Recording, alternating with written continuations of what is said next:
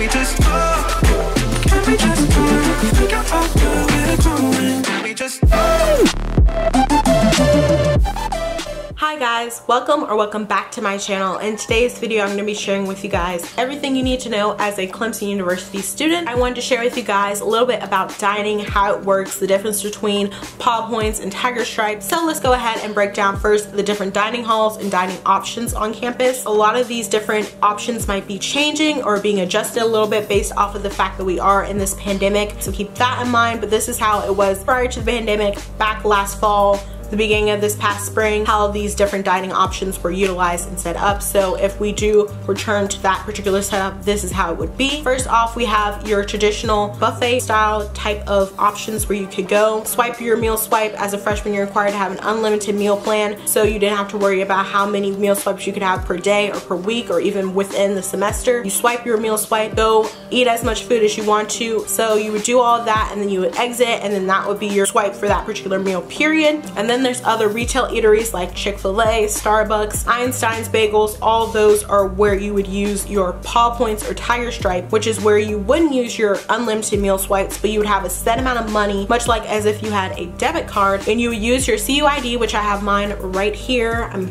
covering up my information. You need to have this handy because you're going to be utilizing a lot, or you can use the mobile wallet, Apple Wallet version, which wouldn't require you to have this always handy. So I would recommend that you use that. It's just convenient, lighter weight, and less things to remember. But as I was sharing before, with your Paw Points, you're required to load so much money onto it. So with certain meal plans, when you get the unlimited, you might have 300, 200, or $100 in Paw Points automatically kind of added as a part of that meal plan option. So if you have something like that, if you have $300, it's Paw Points. And so you can use them on any of the on-campus eateries, only on campus. So you can use it for Chick-fil-A, Starbucks, all those places I was sharing before, as well as you can use them for the pod, which is the on-campus convenience store. There's a lot of them located around campus. So you wanna utilize that. I'll leave more information about the different locations on campus of where you can use and utilize your Paw Points down below in the description, as well as any other helpful resources that I'm gonna be sharing today. We look located and links down below. So check out the description for further details about that. In regards to Tiger Stripe, it's more like a debit card where you can have you or whoever your beneficiaries are to load money onto and you can use it on campus as well as off campus at a few different providers, different restaurants, off campus, a few of the local grocery stores. You can utilize it so it truly is like a little bank card that you can swipe and pay for things. You can utilize on campus and a few off campus providers and then Paw Points is strictly for on campus retail eatery dining dining options. Hope that clarifies that. It took me a while to kind of understand each one. And another thing that I didn't share before about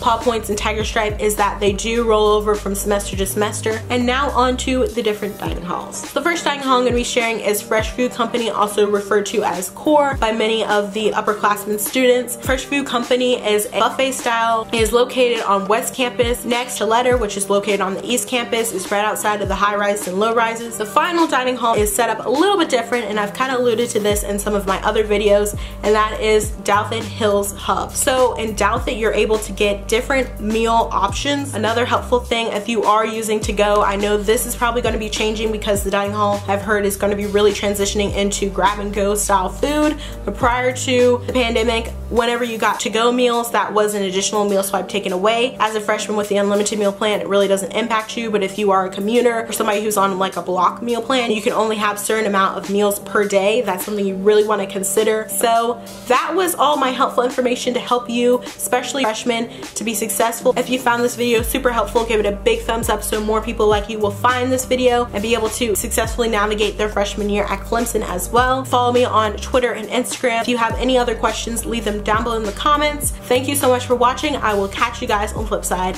See you guys next Sunday. Bye guys!